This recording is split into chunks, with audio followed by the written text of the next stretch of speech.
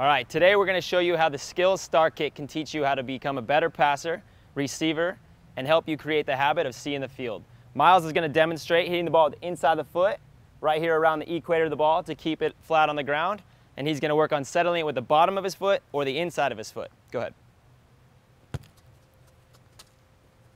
Get your head up.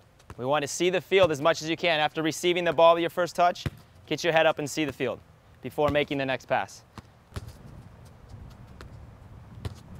And now he's going to demonstrate how to settle the ball with the bottom of his foot on the way back and getting his head up every time. Eyes up. Nice firm pass on the ground. Good technique, shoulders forward.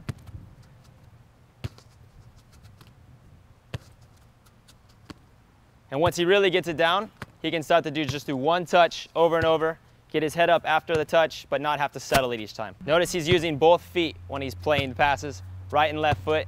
Star kick can really help you improve your technique on both sides of the ball, create the habit of seeing the field. It's perfect, well done.